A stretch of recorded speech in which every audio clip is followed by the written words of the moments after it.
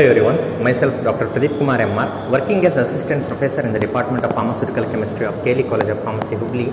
Today, along with my uh, students, I'll be giving you the demonstration with respect to determination of serum cholesterol.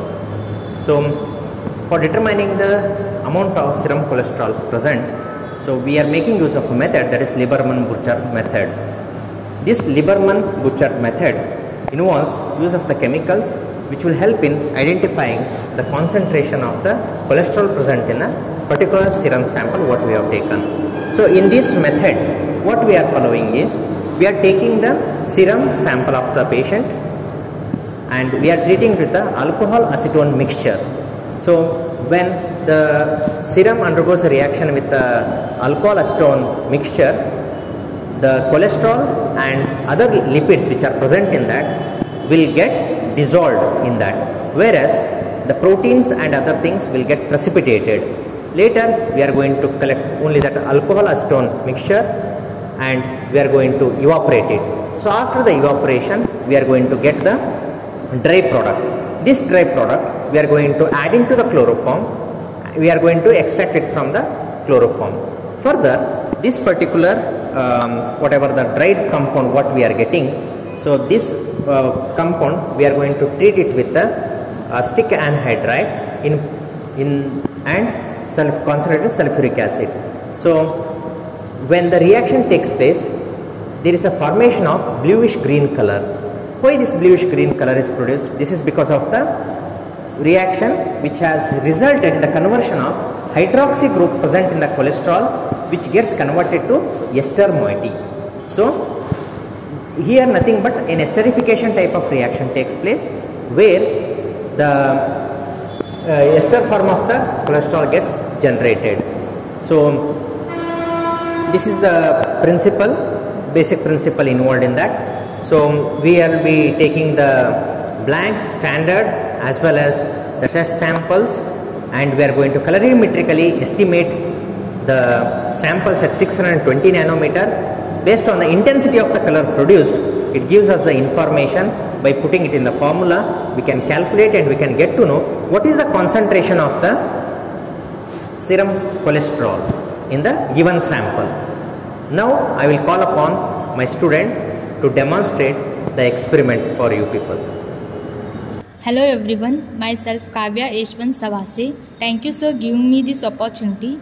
Today I am going to perform the determination of serum cholesterol. Aim to carry out the determination of serum cholesterol for the given sample.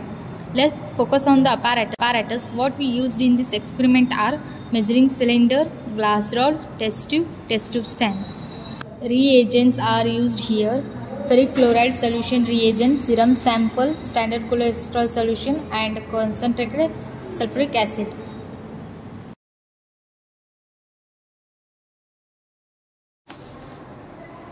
Let's start the procedure and label the three test tube as a name, test, standard and blank. In,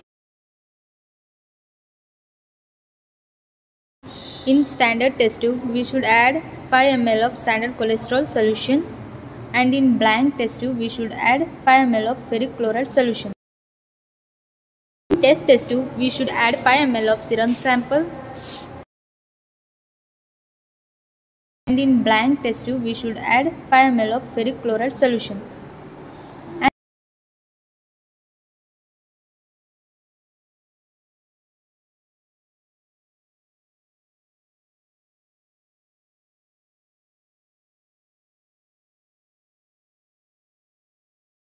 And in each test tube we should add 3 ml of concentrated sulfuric acid.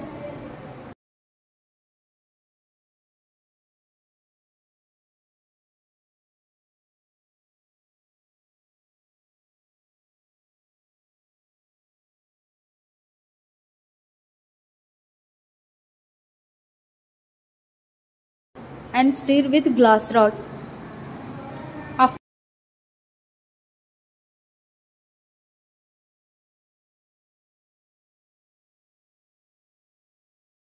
After stirring and keep it aside for 10 minutes to develop the color and read the optical density of test and standard solution at 560 nanometer against blank.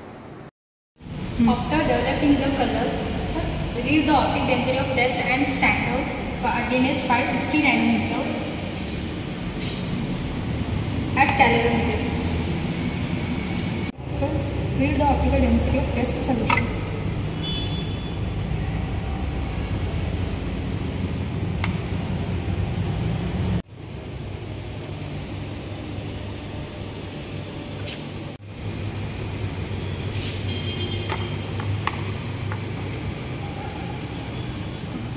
Read the optical density of standard solution.